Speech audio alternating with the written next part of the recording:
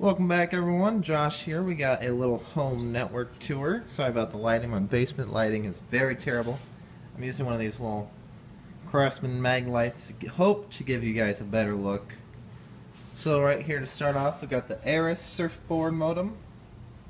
Uh, it's from Mediacom Communications. It's got 100 megs up. I mean, excuse me, 100 megs down and about 20 meg upload speed here. Over here, we got our ASUS router. It's an RTAC 56R gigabit router.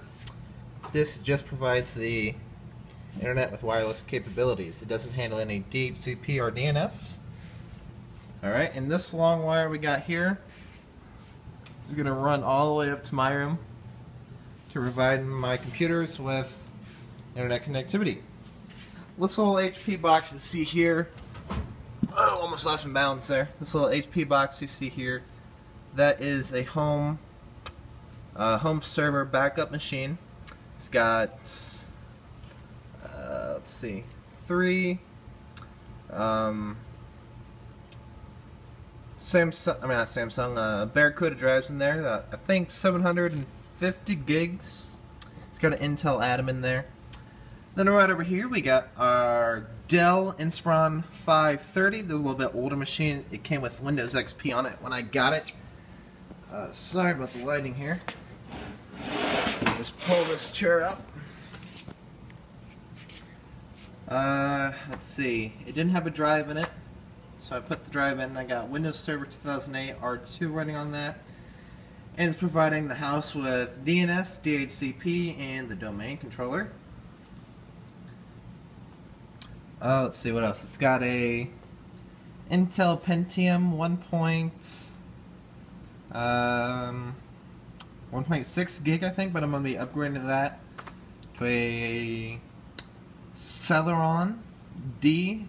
Uh, it's the cheapest one I could find. It's still the same socket size.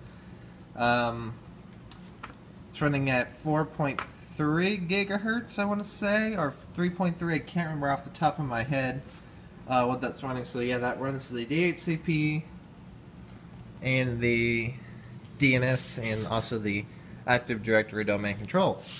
And the stuff here I got is a Cisco Systems uh, PIX 515E firewall, which I can't figure out how to set up. I got little switch there that I never used. Then I also got a Check Point UTM-1 Edge X for ADSL. Uh, I can't get that working either because I don't have the correct uh, pin. So thanks for watching guys. As always, stay subscribed. The cat is clawing the uh, stud downstairs. Yep, but thanks for watching everyone. I hope you enjoyed. My basement is kind of cluttered with some old shit of mine from my childhood. You can probably look over there, you see some crap and whatnot. Nice cable management right here too. Uh, I just organized that so it looks a lot better. Yep, thanks for watching everyone. Hope you enjoyed this little uh, network update for August 4th, 2015. Thanks for watching. Bye-bye.